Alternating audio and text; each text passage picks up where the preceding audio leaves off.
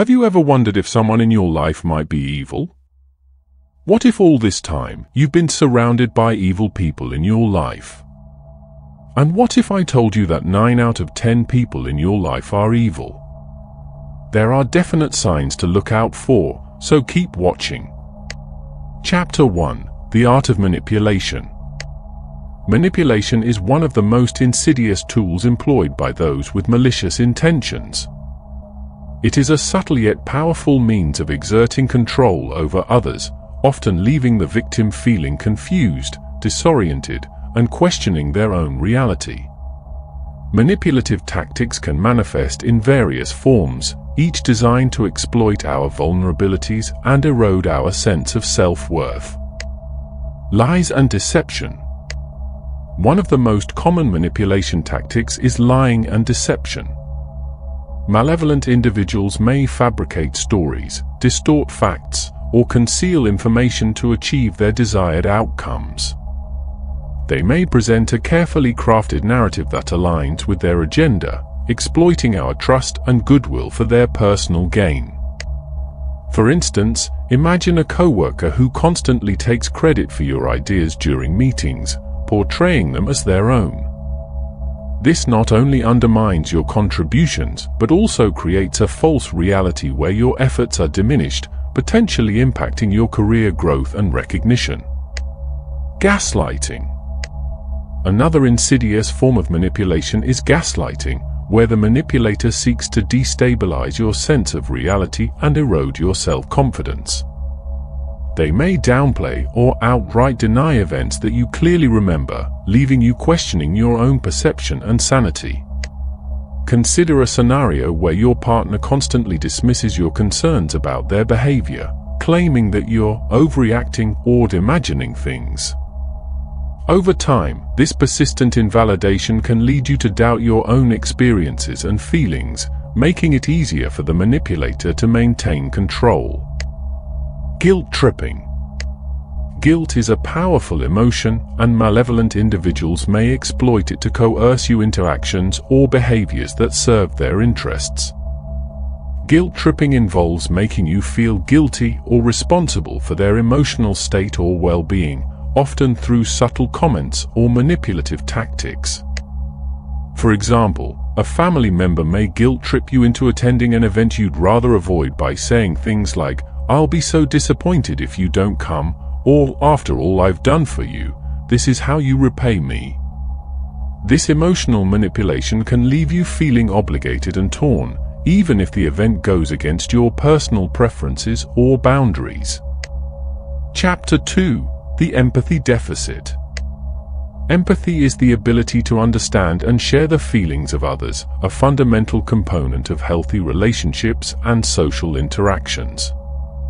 Unfortunately, individuals with malicious intentions often lack this crucial trait, leaving them unable or unwilling to consider the emotional impact of their actions on those around them. The lack of emotional connection. When someone lacks empathy, they may struggle to form genuine emotional connections with others.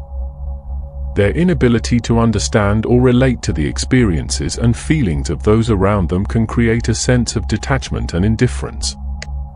This lack of empathy can manifest in various ways, such as insensitivity to the needs and emotions of others, dismissiveness or minimization of others' feelings or experiences, indifference to the suffering or distress of those around them, prioritizing personal interests over the well-being of others, the impact on personal and professional relationships, the absence of empathy can have far-reaching consequences in both personal and professional settings.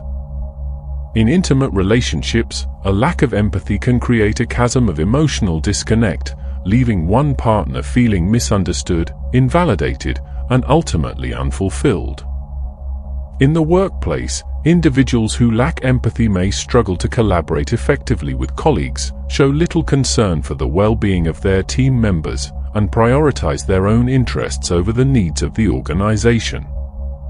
This can foster a toxic work environment, hindering productivity, morale, and ultimately, the success of the company.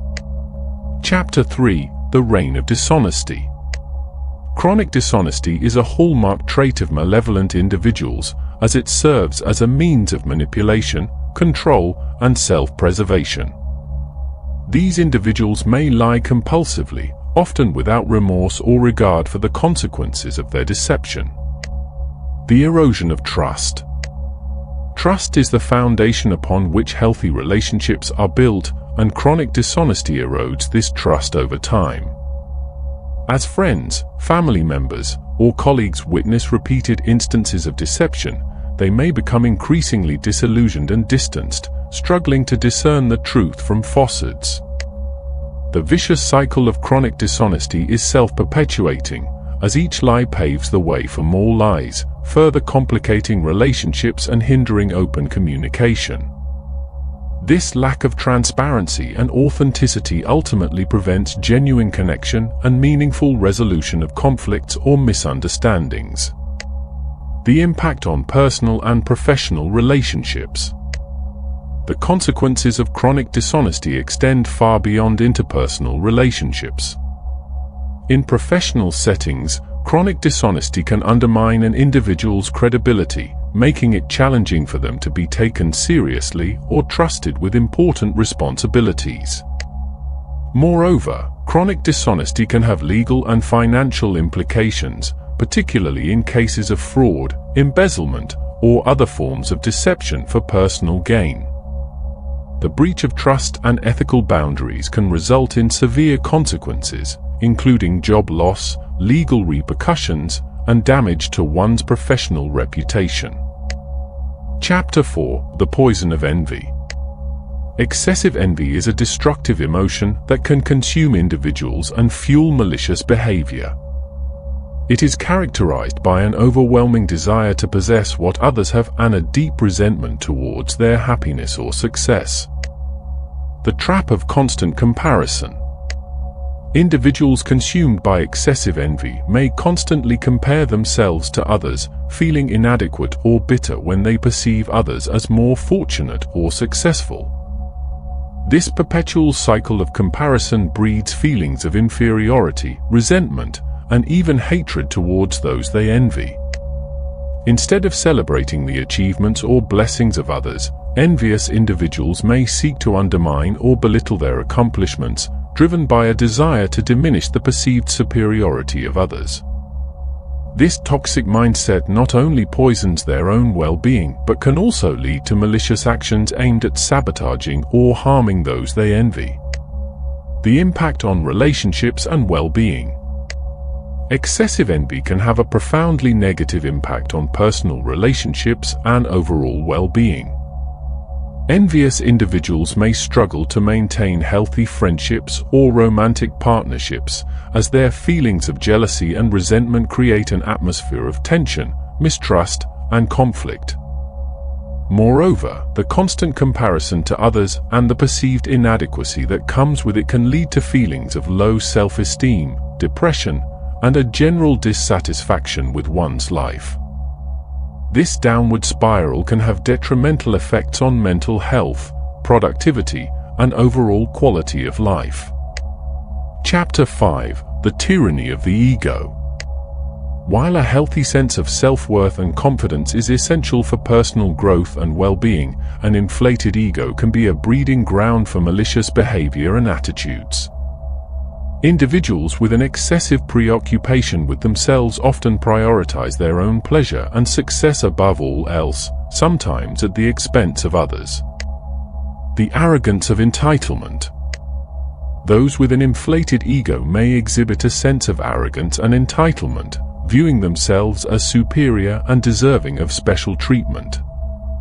They may seek constant validation and admiration from others, unable or unwilling to acknowledge the contributions or achievements of those around them.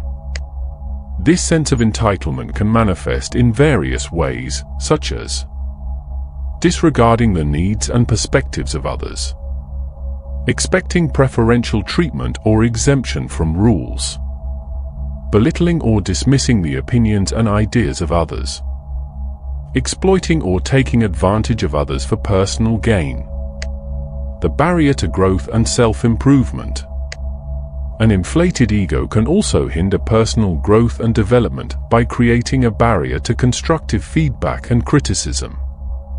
Individuals who are overly focused on maintaining their self-image may resist acknowledging their flaws or shortcomings, preventing them from learning and evolving. This resistance to self-reflection and improvement can have far-reaching consequences, both personally and professionally. In relationships, it can lead to stagnation and a lack of emotional intimacy, as the individual's unwillingness to address their own flaws creates distance and resentment. In the workplace, an inflated ego can hinder collaboration, stifle innovation, and ultimately impede career progression. Chapter 6 The Stranglehold of Control Extreme control is characterized by a pervasive need to dictate and manipulate situations, often at the expense of others' autonomy and well-being. Individuals who exhibit extreme control behavior seek to assert dominance and authority in various aspects of life, including relationships, work environments, and social interactions. The micromanagement trap. One of the most common manifestations of extreme control is micromanagement. These individuals may feel an intense need to oversee and direct every aspect of a task or project, often disregarding the expertise or capabilities of those around them. For instance, imagine working on a team project where one member insists on approving every detail, constantly second-guessing the group's decisions and undermining the collaborative process. This not only slows progress, but also creates an environment of mistrust and resentment as team members feel their contributions are devalued. The suffocation of personal boundaries. In personal relationships, extreme control can lead to a sense of suffocation and a violation of personal boundaries. Controlling individuals may exhibit possessive or jealous tendencies, seeking to dictate who their partner interacts with, how they spend their time, or even how they dress or behave. This level of control can be emotionally and psychologically damaging, leaving the other partner feeling trapped, disempowered, and stripped of their autonomy. Over time, this dynamic can erode self-esteem and fuel resentment, potentially leading to the breakdown of the relationship. Chapter 7 The Burden of Irresponsibility Irresponsibility is marked by a consistent avoidance of accountability for one's actions and a tendency to shift blame onto others. Individuals who demonstrate irresponsibility often fail to fulfill their obligations or commitments, neglecting the consequences of their choices and actions. The evasion of accountability. One of the key characteristics of irresponsibility is the evasion of accountability. Instead of taking ownership of their behavior and its outcomes, irresponsible individuals may deflect blame onto external factors or other people. This behavior not only undermines trust and reliability but also perpetuates a cycle of excuse-making and avoidance. For example, consider a coworker who constantly misses deadlines or submits subpar work.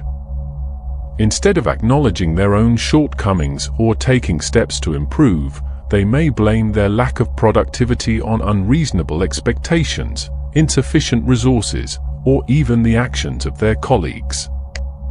The ripple effect of broken commitments. Irresponsibility can have far-reaching consequences, particularly in situations where others are relying on an individual to follow through on their commitments. In personal relationships, broken promises or neglected responsibilities can strain bonds and erode trust, leaving loved ones feeling let down or disrespected. In professional settings, Irresponsibility can impede productivity, disrupt workflows, and ultimately undermine the success of the entire team or organization. When one person fails to hold up their end of the bargain, the burden often falls on others, leading to resentment, burnout, and a toxic work environment. Chapter 8 The Web of Pathological Lying Pathological lying is a behavior characterized by a persistent pattern of deceit and falsehoods, often with no clear motive or benefit.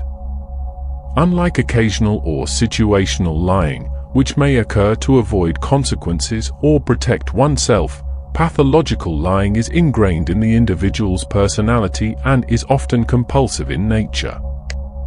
The unraveling of truth. Identifying patterns of habitual lying involves recognizing discrepancies between what is said and reality, as well as inconsistencies in the individual's storytelling over time.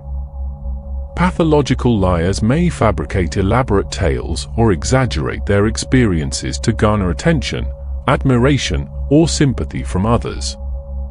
Additionally, they may deny or downplay their lies when confronted, further perpetuating deception and making it increasingly difficult to discern truth from fiction.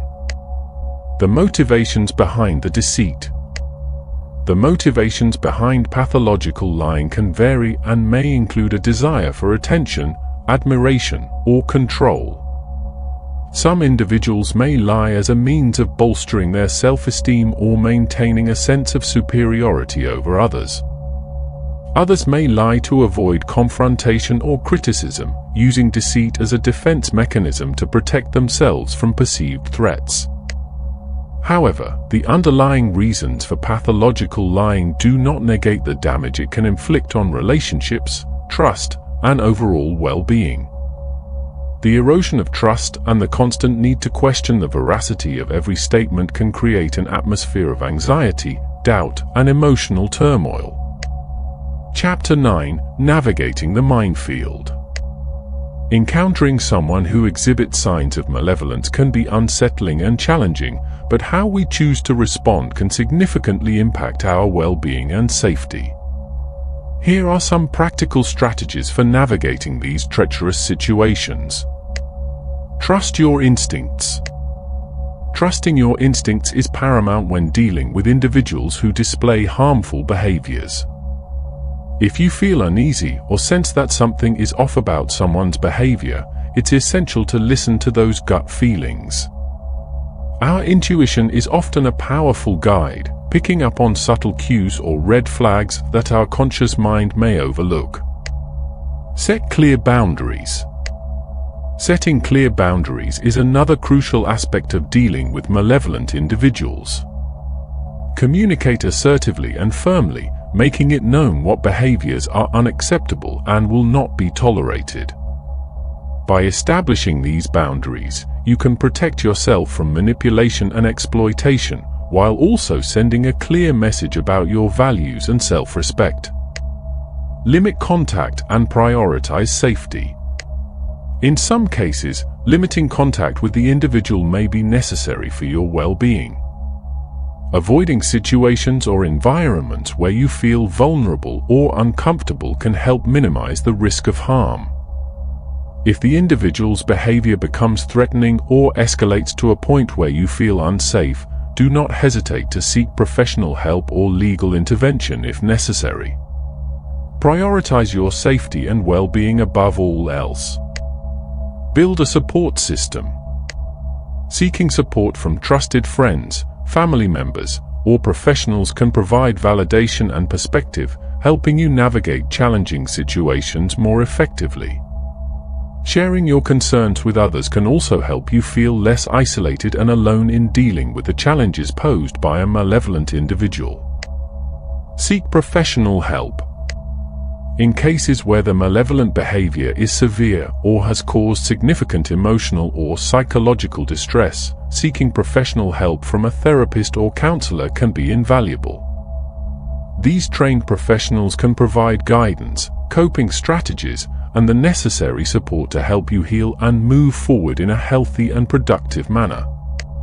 Conclusion Recognizing the signs of malevolence is a critical skill for safeguarding ourselves and our communities from harm. While it's important to approach this topic with empathy and understanding, as individuals may be struggling with their own personal issues or traumas, it is equally crucial to prioritize our well-being and set boundaries when faced with malicious behavior. Throughout this guide, we've explored various manifestations of malevolence, including manipulation tactics, lack of empathy, chronic dishonesty, excessive envy, inflated egos, extreme control, irresponsibility, and pathological lying. By being vigilant and observant of these warning signs, we can avoid falling victim to exploitation, deceit, and emotional turmoil.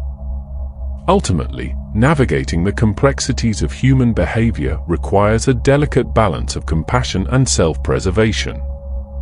While we should strive to approach others with understanding and an open heart, we must also be discerning and protective of our own well-being. By developing strategies to recognize and address malevolence, we can create healthier, more fulfilling relationships and cultivate a life rooted in authenticity, trust, and personal growth.